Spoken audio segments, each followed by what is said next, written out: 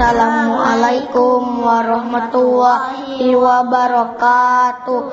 Hello everyone. My name is Dilan. My name is Banyu. We are from P2 Hamzah. We are going to say dua for two parents and the mu'min people. Bismillahirrahmanirrahim.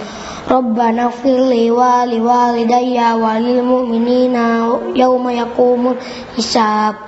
Ya Rob kami beri ampunlah aku dan kedua ibu bapakku sekalian orang-orang mukmin pada hari terjadinya hisab. Amin.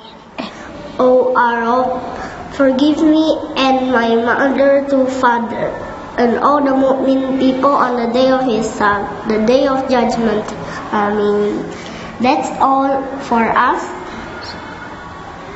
Goodbye everyone. Thank you. Assalamualaikum warahmatullahi wabarakatuh.